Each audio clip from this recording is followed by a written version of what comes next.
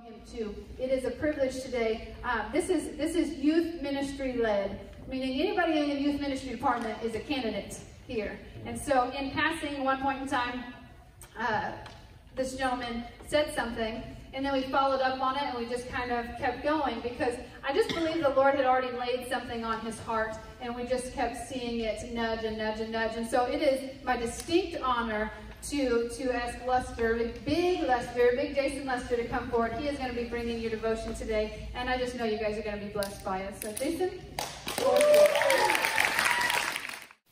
Good morning, good morning. For those who don't know me, I am Jason Luster. This is my wife, Lisa. My mom and dad's right here. And uh, we're going to be talking about faith this morning. My wife is going to read the scripture for me. Can y'all hear me? Yeah? Oh, there goes my pen. Matthew 14, 22. Jesus walks on the water. Immediately, Jesus made the disciples get into the boat and go ahead of him to the other side. While he dismissed the crowd, after he had dismissed them, he went up on the mountainside by himself to pray. When, even, when evening came, he has Okay. When evening came, he was there alone, but the boat was already considerably distant from the land, buffeted by the waves because the wind was against it. During the fourth watch of the night, Jesus went out to them, walking on the lake. When the disciples saw him walking on the lake, they were terrified. Is it a ghost? They said, and cried out in fear. But Jesus immediately said to them, Take courage, it is I. Don't be afraid. Lord, if it's you, Peter replied, tell me to come to you on the water. Come, he said. Then Peter got down out of the boat and walked on the water and came towards Jesus. But when he saw the wind, he was afraid and beginning to sink, cried out, Lord, save me. Immediately, Jesus reached out his hand and caught him. You have little faith, he said. Why did you doubt? And when they climbed into the boat, the wind died down. Then those who were in the boat worshiped him, saying, You are truly the Son of God.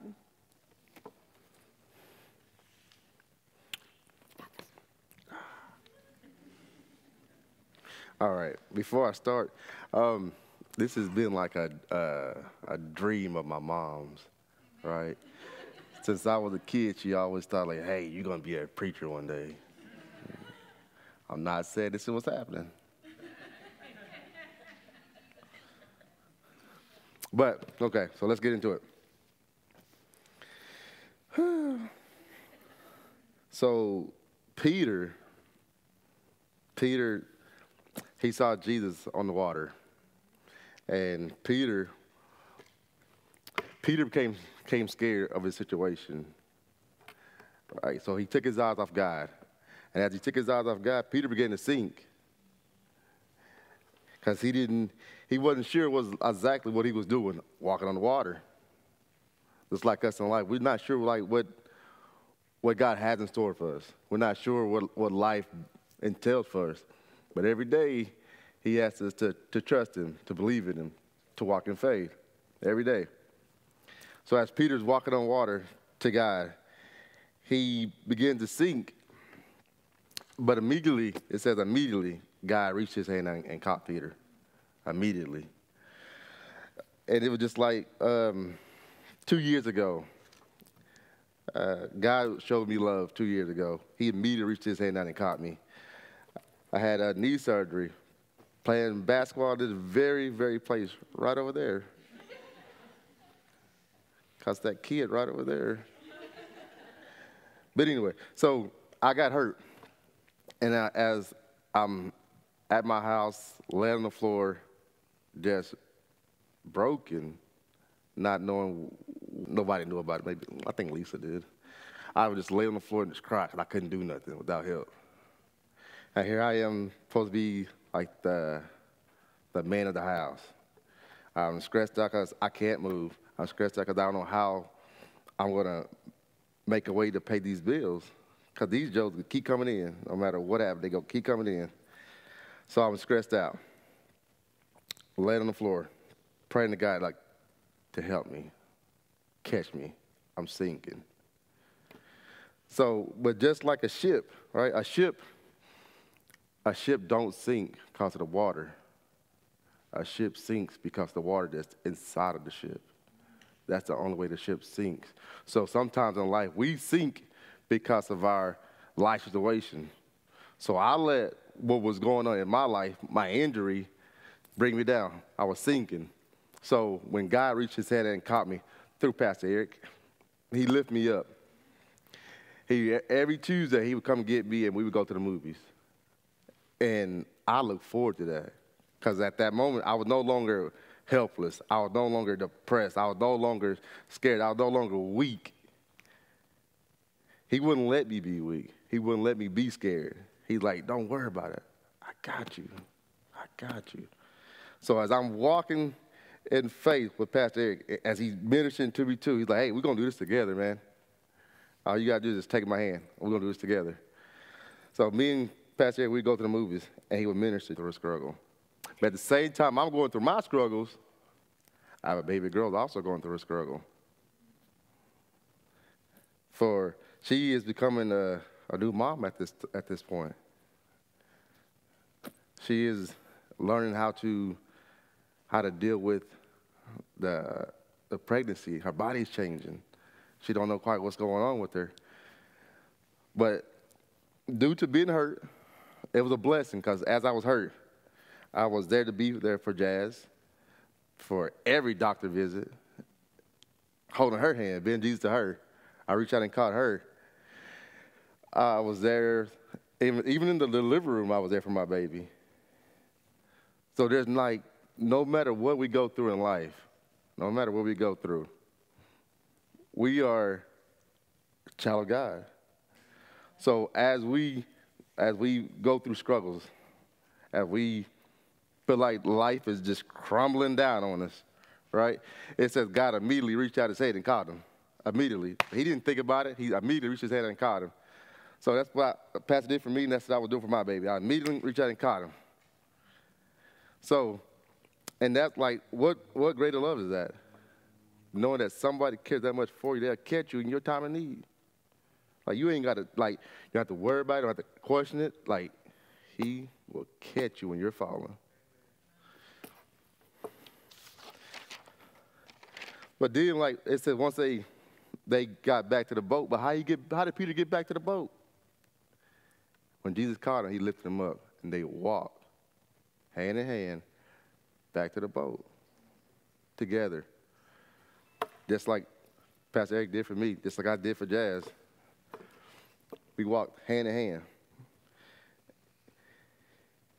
He would like, Pastor Eric was like, someday we come give him, he would hold my popcorn, my drink, sometimes my jacket.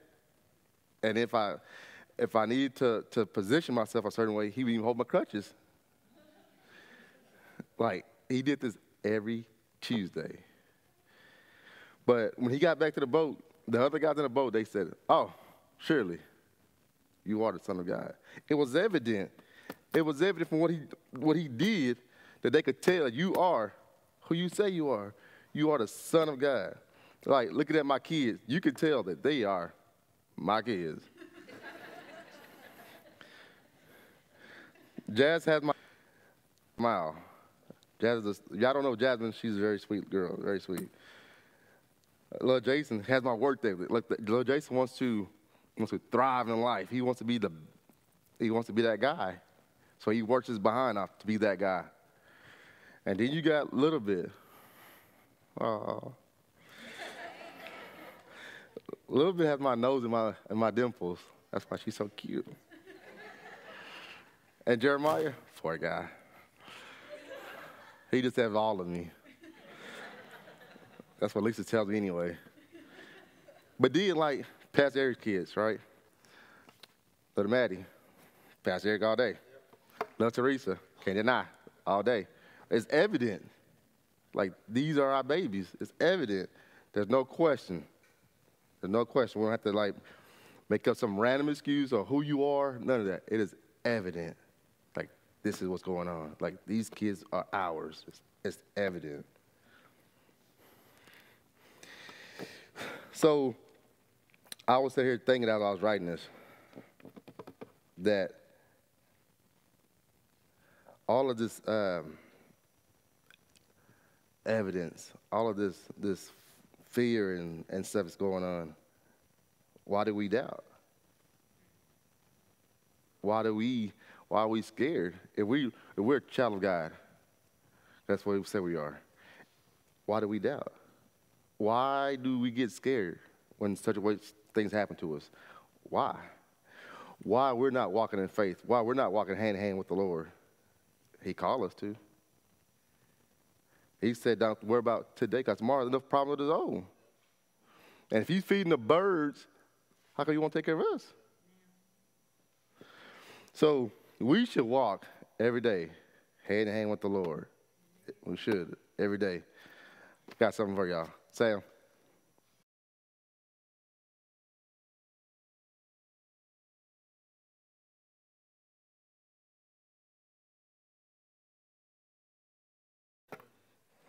So,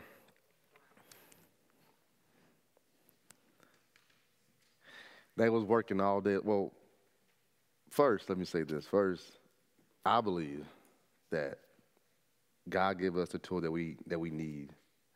And sometimes we already have the tool that we need to perform his his work. We just don't believe in ourselves.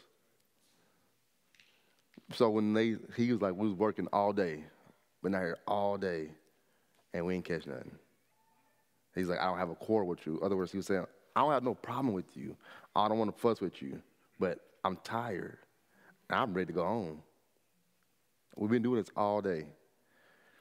But he said, but Jesus was like, man, throw your net, cast your net. So when Peter was like, looked at him crazy, he was like, mm, if you say so right? So it's just like our kids. I like, man, if you clean this, then you have to clean tomorrow. And they look at me like I'm crazy, but I they trust me. If you clean, you ain't got to clean tomorrow. And they be like, huh, if you say so. So as Peter cast out his net, not really, really having faith in God fully, but if you tell me to do it, then I'm going to do it. So as he cast his net out, God blessed him with the fish like with a bunch of bunch of fish, right? So I believe like the gifts that we have, we're already equipped. If it's from speaking in front of people, if it's from being a sound tech, a pharmacist, being a photographer, being whatever it is, we're already equipped. We already got the tools that God that we need to do what God asked us to do. All we got to do is put it forward in action. Like he said, if you say so. Then he said, I'll do anything you want me to do. What you want me to do? Follow me. Follow me. So, Lakeview, let's cast our nets. Let's cast our nets. It's time for us to stand up as church and be faithful and cast our nets and catch all the blessing God has for us. What are we scared of? What are we waiting on? The world is going to have its own problems. And there's some things we can't do about it. Can't change none of that sometimes. But all we got to do is have faith of a mustard seed. JD, a little bit.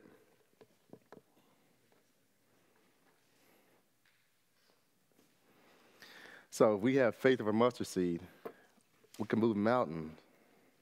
There's nothing we can't do. Just a little bit of mustard seed. All we gotta do is have that faith.